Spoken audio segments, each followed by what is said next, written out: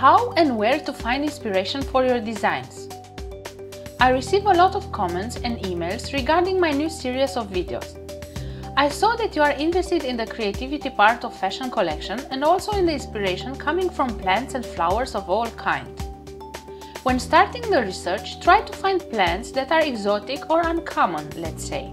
Try to skip the tulips, roses and plants that are quite symmetric or boring or not rich in details. Don't get me wrong, any plant can be beautiful, but when wanting to get inspired, we need more than that.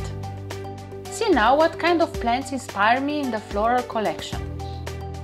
And now let's get to the creative part. Use simple lines, sketch with transparent layers.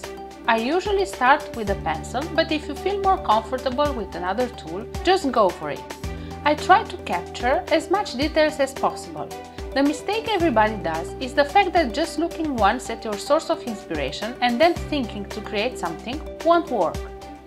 You need to constantly observe the details and sketch them and adapt them to your costume. Try to understand how they were made, how the plant evolved and how those beautiful shapes were generated. Then use 2-3 layers of colors that you will mix to create the volume or the dark or shadow parts of your outfit.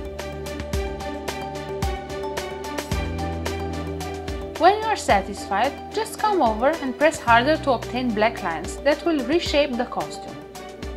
Think of that. When you will later see the drawings, you should immediately know what was the primary source of inspiration and what you intended with your drawing. The drawing should be as accurate as possible so that later on you will be able to give it to somebody who will actually produce the costume to be worn.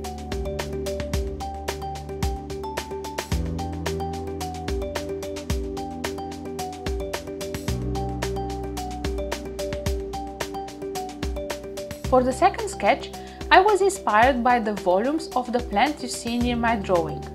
I kept almost the same colors as the originals and also I added the details that remind me the source of inspiration. Thank you for all your comments, shares, likes and as always, if you need my advice, please write me on fashionteaching at gmail.com. Now sit back and enjoy my drawings. Thank you for watching and as always, please subscribe to my channel if you like my videos. See you next time!